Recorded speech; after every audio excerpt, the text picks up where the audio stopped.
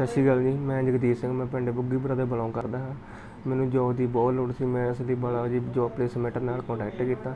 ਇਹਨਾਂ ਨੇ ਮੈਨੂੰ ਤਕਰੀਬਨ 1 ਜਾਂ 2 ਘੰਟੇ ਦੇ ਅੰਦਰ ਅੰਦਰ ਮੈਨੂੰ ਜੋ ਮੇਰੇ ਲਈ ਸੂਟੇਬਲ ਜੋਬ ਸੀ, ਉਹਨਾਂ ਨੇ ਮੈਨੂੰ ਜੋਬ ਤੇ ਦਿੱਤਾ। ਉਹਦੇ ਵੀ ਭੈਣ ਦੀ ਭਰਾ ਨੂੰ ਜੋਬ ਦੀ ਲੋੜ ਹੋਵੇ ਬਾਲਾ ਜੀ ਜੋਬ ਪਲੇਸਮੈਂਟ ਇੱਕ ਵਾਰੀ ਜ਼ਰੂਰ ਕੰਟੈਕਟ ਕਰਨ।